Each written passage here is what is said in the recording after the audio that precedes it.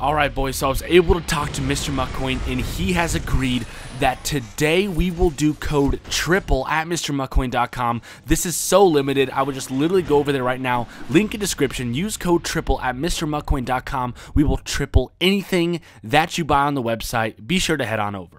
Ladies and gentlemen, welcome back to a brand new video. Today I'm going to be giving you the best coin making guides currently, as well as some new players, roughly over 15 new players that are going to be coming to Madden Mobile in the theme of most feared, and some of them break records statistically that are crazy for Madden Mobile. So without further ado, I thought that I would first mention some of the coin making methods that you guys would like to hear, uh, kind of just off the bat so you guys can get that out of the way. Again, I'm hosting a giveaway on my channel right now. If you subscribe, comment down your social media, and comment down your favorite thing about Most Feared, you will be entered into the giveaway. Then come Saturday, I'm going to choose a winner to win 1 million coins. Then I'll put your name into Nightbot, and they'll check if you're subscribed. If you are subscribed, then you will win. So make sure you guys are subscribed. Comment down your social media, favorite thing about Most Feared, and then that's going to be solid. You guys are going to be in the giveaway. Now let's talk about some coin making methods.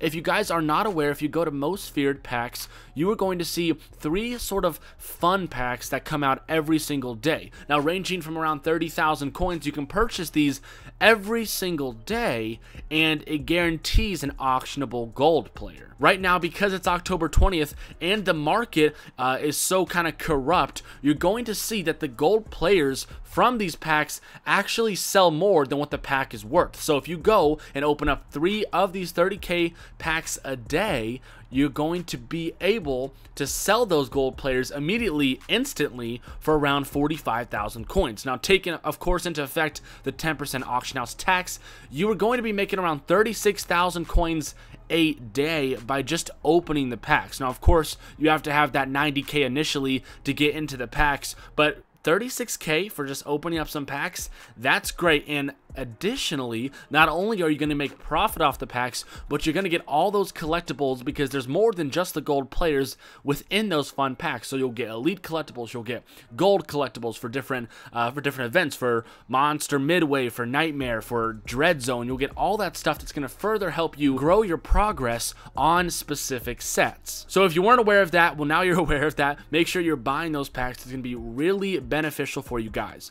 My next best strategy right now is going to be bid sniping. A lot of people are going to tell you, why don't you just do, um, you know, buy now sniping? You totally can, but that's what everyone in Madden Mobile is doing right now. Legit everyone. Everyone's on the auction house trying to snipe gold players for the cheapest, and it's just going to be a pain. You might be able to get one uh, for like 30k. You're only going to make like 6k profit. It's going to be quite the grind to snipe. And if you don't have a bot, then you're kind of screwed. So my personal suggestion is to try bid sniping. Now, I tried this out. I was able to get five or six. It took a little bit of time, but basically you put 30,000 in uh, the bid, and then basically you just bid on players and wait for four minutes, and people will forget about it. Um, and then when it comes down to the final 10 seconds, a lot of people start to bid. But by the time you win the bid, it, you you still make like five or six thousand coins. Now, if you do that with multiple different cards, uh, it could be very beneficial. Bidding actually really does take a lot of time, so it can be very um, annoying at first. But to be honest, when it comes to the different coin making methods,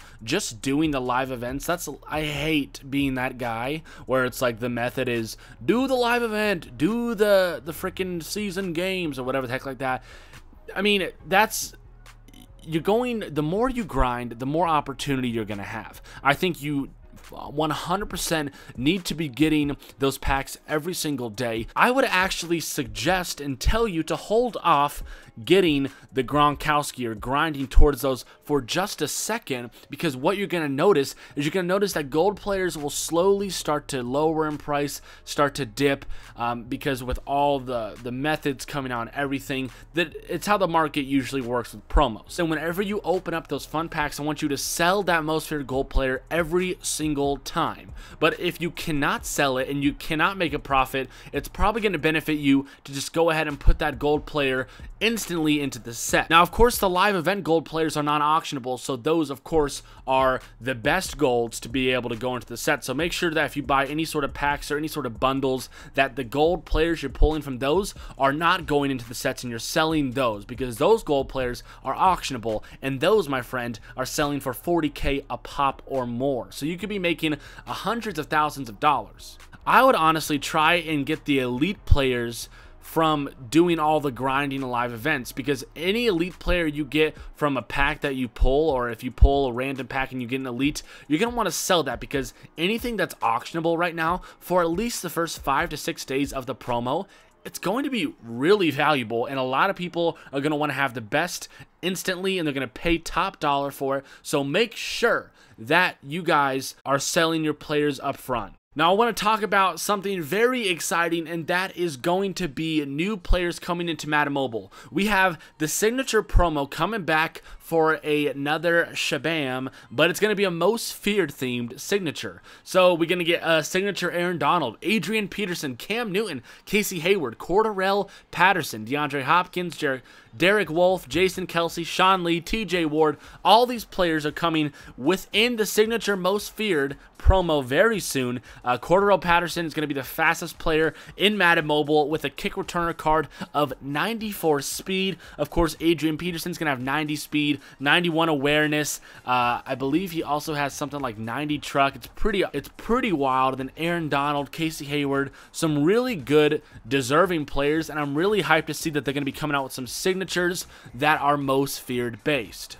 Now, additionally, there's something that is super exciting, and if you guys saw my uh, previous video where myself and Bob the Destroyer, uh, a very known member on MUTHead, were talking about some of the potential chances of players that could be coming because of the Friday the 13th promo, well, our predictions were correct. The Friday the 13th promo featured Dallas, New England, and Kansas City as the fields in which all the live events took place. Well, guess what? The 95 overall most feared players that are going to be coming uh, in about 10 days or so come on October 31st or October 27th are going to be Ed Tall Jones from the Dallas Cowboys, Randy Moss from the New England Patriots, and Tony Gonzalez from the Kansas City Chiefs. So with a 95 overall, uh, with Ed Too Tall Jones having the highest adjusted overall. We have some very nice cards coming in. Randy Moss with a 96 speed is going to be the highest base speed player in the game because I believe Barry Sanders is in third right now with a 93 speed, and then the 94 speed from uh, Cordarrelle Patterson will be second, and then this Randy Moss 95 will have the top speed of 96. So, lots of new stuff coming. Hopefully, you guys enjoyed the video. If you did, be sure to leave a like and subscribe. Appreciate all the love. Make sure you're subscribed for that giveaway and comment down your social media and your thoughts on Most Feared because if not, then you're going to hold this thick and juicy L. Talk to you guys later.